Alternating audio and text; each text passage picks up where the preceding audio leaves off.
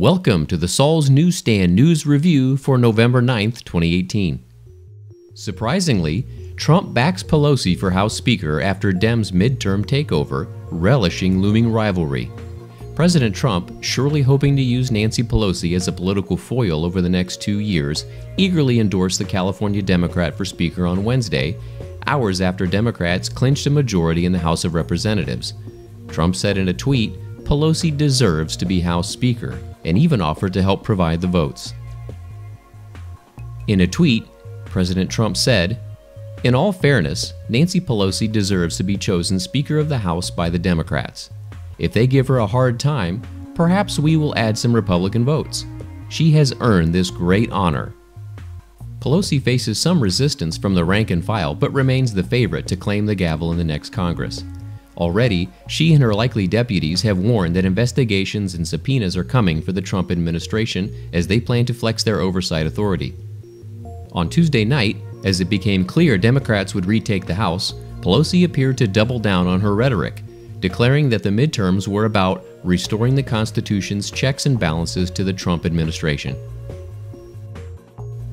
On the other side of the aisle, The Hill reports House GOP fight begins. Jordan challenges McCarthy. Conservative Representative Jim Jordan announced his bid for the House Minority Leadership position on Wednesday, challenging Representative Kevin McCarthy hours after Democrats regained control of the lower chamber. I plan to run for Minority Leader, Jordan told The Hill TV.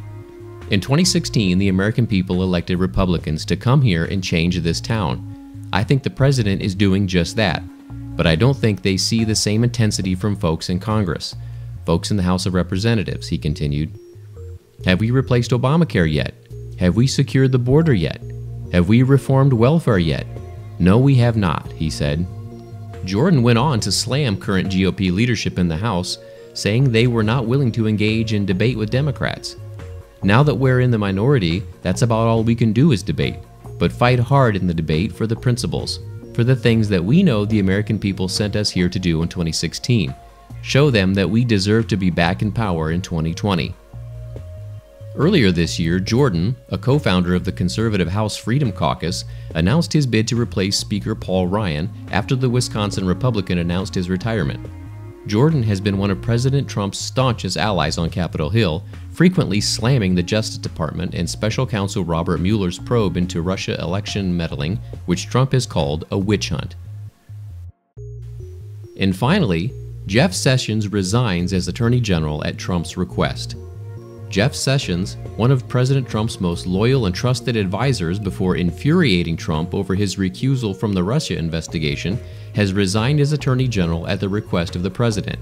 At your request, I am submitting my resignation, Sessions wrote Wednesday in a letter to Trump.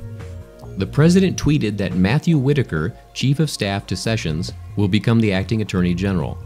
Whitaker, according to sources, is now overseeing everything at the Justice Department, including the Russia investigation, despite calls from Democrats to recuse himself. We are pleased to announce that Matthew G. Whitaker, Chief of Staff to Attorney General Jeff Sessions at the Justice Department, will become our new Acting Attorney General of the United States. He will serve our country well. Sessions' departure from the Justice Department was not unexpected, as the President has signaled that there would be changes to his administration after the midterms but no one faced more rumors of an imminent dismissal than Sessions. For more than a year, Trump has repeatedly lambasted Sessions over his recusal, saying he wouldn't have installed him as the country's top law enforcement officer had he known his attorney general would recuse himself from the Russia probe.